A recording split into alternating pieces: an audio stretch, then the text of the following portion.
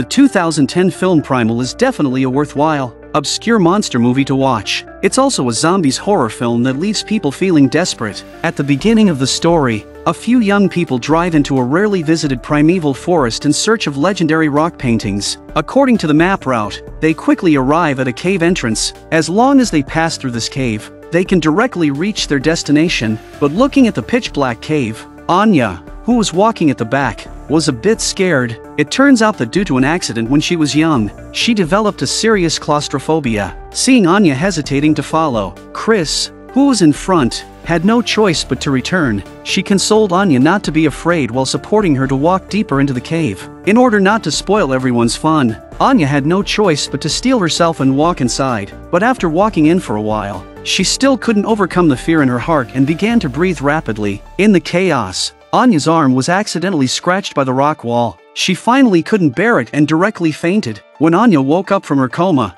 she had already been carried out of the cave by her companions. Considering that Anya's condition made it impossible for her to enter the cave again, Dace had no choice but to hand the car keys to Anya and let her drive alone along a detour to the cave exit. The rest of the people continued to pass through the cave and find a place to set up camp in advance. However, no one knew that this seemingly ordinary cave actually hid a huge danger, because the blood Anya left behind was gradually being absorbed. There seemed to be an unknown, mysterious force in the cave, but fortunately, without Anya as a burden, the others quickly arrived at the other side of the cave. They also saw the ancient rock painting here. Before long, Anya successfully joined them. After setting up camp, the group began to appreciate the rock painting together. Dace prepared to study the content in depth and use it to write a graduation thesis to obtain his own doctoral degree. But Warren and Anya didn't seem to be interested, so they turned and left. But Chris and Dace, who stayed in place, were completely unaware that something in the grass was watching them. Just as Chris was about to take a handsome photo of Dace, that unknown creature suddenly attacked her from behind,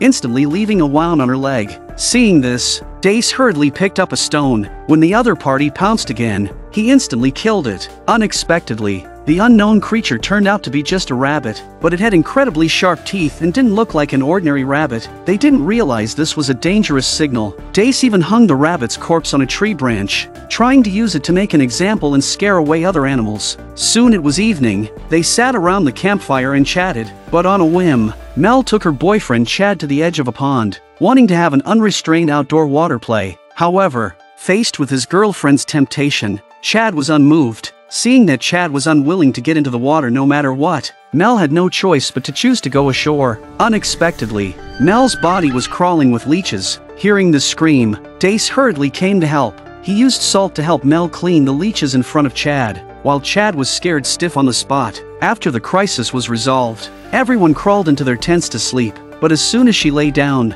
Mel felt a bit unwell. Everyone thought she was just not used to the water and soil, so they didn't take it to heart. Even when Mel was drinking water and blood seeped from her mouth, no one noticed. It wasn't until late at night that Chad realized something was wrong, but Mel's condition was already very bad. Her teeth fell out with a light pull. Realizing that things weren't that simple, everyone decided to take Mel to the hospital immediately. But while packing, Anya was surprised to find that a hole had somehow appeared in her backpack. Even the tent had a big hole. Taking a closer look, it was actually covered with small black bugs. Anya hurriedly told Dace about this, saying there was a kind of omnivorous small black bug in the camp. But Dace, who was busy leaving, didn't pay attention. He thought Anya was just talking about ordinary bugs. It wasn't until he found that the tires had also been corroded by these small bugs that Dace realized something was seriously wrong. It seemed they couldn't leave tonight. They had no choice but to return to the camp and wait until early morning to make plans. Early the next morning, they began to pack up.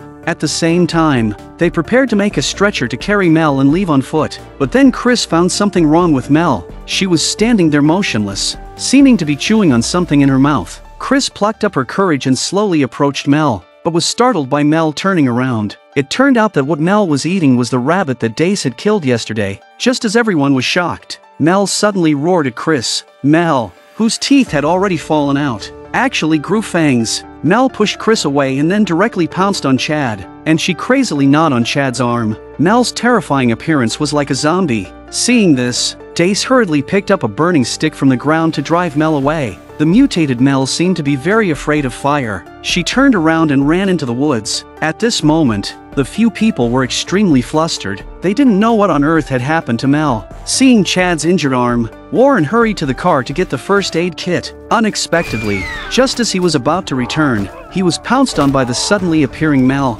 Luckily, Dace arrived in time with a stick. Who would have thought that the mutated Mel was so tough? A few hits from the stick and Mel was completely unharmed. It wasn't until Chris brought a torch that Mel was scared away again, while the others were bandaging Chad's wound. Mel attacked a kangaroo. After eating her fill, she threw the kangaroo's corpse into that cave. Soon, the mysterious force in the cave absorbed the entire corpse. Realizing that Mel would return again, everyone began to discuss countermeasures. At the moment, they only had two choices, either set up a trap to catch Mel, or directly find a way to send her away. As Mel's boyfriend, Chad of course wouldn't agree to the second option, he believed Mel was just sick. Anya also thought they should catch Mel first and then make plans, so they immediately took action and began to set up traps on the ground. When everything was ready, they had Chad act as bait and stand in the trap. Dace was responsible for climbing the tree. Ready to trigger the trap at any time, the remaining three people then took torches and split up to find Mel, looking for an opportunity to lure her towards the trap.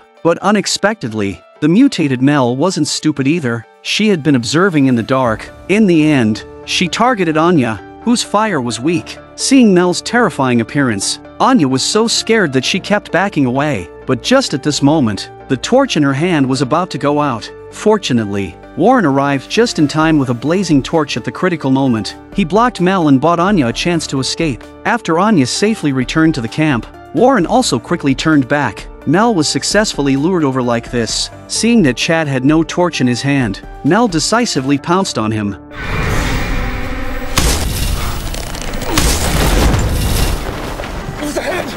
With everyone's tacit cooperation, Mel was successfully captured, but just as they were discussing the next step, Mel actually easily broke free from her bonds and escaped from inside. Warren, who was beside her, didn't even react before being directly pounced on by Mel. After getting up, Mel continued to pounce on Dace. Dace saw this and hurriedly turned around to run away and eventually jumped into the pond to escape, while Mel disappeared into the woods again. By the time everyone returned, Warren, who had fallen to the ground, was no longer breathing. By night, even Warren's corpse was eaten raw by Mel. Everyone could only watch helplessly, and Mel, who had eaten her fill, threw the corpse into the hole again like last time. At this point, they had no choice but to eliminate Mel. After all, she had completely lost her humanity. It was either her death or everyone's death. But Chad stood out again to oppose. Even if his girlfriend had become like this, he still had no intention of giving up. To deal with the coming danger, they began to look for usable weapons. Thinking there was still a machete in the car, they prepared to go get it together. Unexpectedly,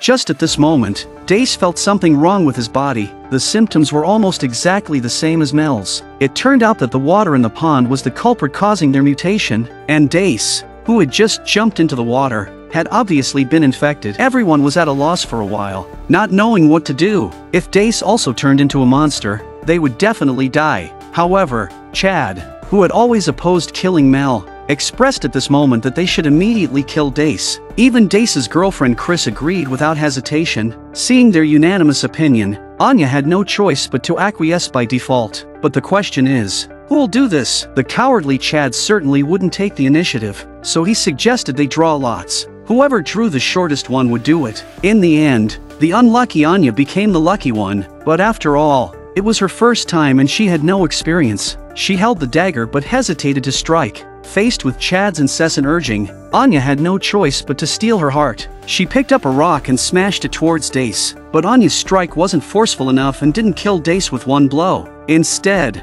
because of her discomfort, she ran to the side and vomited violently. Seeing this scene, Chad not only didn't step forward to help, but also kept urging Anya to continue quickly, but Anya was now unwilling to do it no matter what. Just as they were arguing, the long disappeared Mel suddenly appeared. She wanted to rescue Dace, who was about to mutate. Anya quickly grabbed a torch and tried to drive away Mel, telling Chad to hurry up and kill Dace, but Chad refused her, using the excuse that he drew the long straw. They watched helplessly as Mel took Dace away. Anya can't help but laugh at Chad for being such a useless man, but now that it had come to this, they could only look for an opportunity to eliminate Dace before he mutated. To avoid losing the target, they finally decided to split up. Chris went to the car to get a knife, while Chad and Anya took torches to search for the monsters. Soon, Chad and Anya found Mel. Fortunately, Dace on the ground hadn't mutated yet, but Mel blocked their way. Anya thought this was an opportunity, so she told Chad to restrain Mel while she went around to deal with Dace. However, Chad, overcome by his love-struck mind, disregarded Anya's plan and attempted to put down the torch in an effort to awaken the irrational Mel. As a result, Mel pounced directly the next second. Anya wanted to take advantage of the opportunity to finish off Dace, but Mel came running towards her. While running away, Anya accidentally ran into the cave, but strangely, Mel didn't choose to follow. She seemed to be wary of the mysterious existence in the cave. At the same time, Chris in the car had a hard time finding the machete, but was targeted by the fully mutated Dace. The moment Dace pounced into the car, Chris hurriedly took the machete and fled, but Dace's speed was too fast and Chris was still caught up. In despair, she could only wave the machete. This scene was just witnessed by Chad, who had returned to the camp, but he chose to turn a blind eye. The scream distracted Mel at the cave entrance. Seeing this, Anya hurried to take the opportunity to escape, but she didn't notice a tentacle behind her. When Anya rushed back, Chris had already been taken away. Only that big machete lay on the ground. Thinking about Mel's behavior at the entrance of the cave, Anya rushed to take Chad towards the cave. Although she didn't know why the monster didn't dare to go in, but it was definitely safer inside than outside. Unexpectedly, on the way, they just happened to see Mel and Dace dining. Anya and Chad originally wanted to quietly bypass them, but after eating their fill, Mel and Dace actually made ambiguous movements. Seeing this scene, Chad was instantly blinded by anger. Chad had already sensed that Mel and Dace had a thing going on. He couldn't hold back anymore. Disregarding Anya's obstruction, he rushed over with the machete. Left with no choice, Anya had to light a torch and follow closely. The two sides instantly engaged in a decisive battle. At the cost of his own life, Chad finally perished together with Dace, and Anya picked up the machete on the ground and slowly entered the cave under Mel's pursuit. Although Mel didn't catch up, Anya, who suffered from claustrophobia, was still a bit scared. She tried to overcome the fear in her heart and slowly went deeper. Little did she know, there was an even more terrifying monster in the cave. Anya had no idea that the tentacles behind her were getting restless. Not long after walking, Anya actually encountered Chris, who had just been taken away. In the depths of the cave, the fear in Chris' eyes showed that she had encountered something terrible. Anya originally wanted to support Chris and walk together. Unexpectedly, a moment later, Chris' belly actually bulged up high. It seemed something was about to burst out of her body. Anya was so scared that she dropped the machete. Just as she was in a panic, the tentacle hiding in the dark finally couldn't resist launching an attack. The unprepared Anya was instantly grabbed. Anya hurriedly sought help from Chris beside her, but the dazed Chris picked up the machete from the ground and unhesitatingly cut open her own belly. She couldn't endure the monster in her stomach, so she chose the most extreme method, relying on the last bit of consciousness. Chris raised the machete and killed the baby that had just been delivered by cesarean section. Then Chris, enduring the pain, prepared to rescue Anya. However, the monster gave Chris no chance at all and directly slapped her against the wall. At this moment, Anya was extremely scared, and the monster also immediately revealed its true form.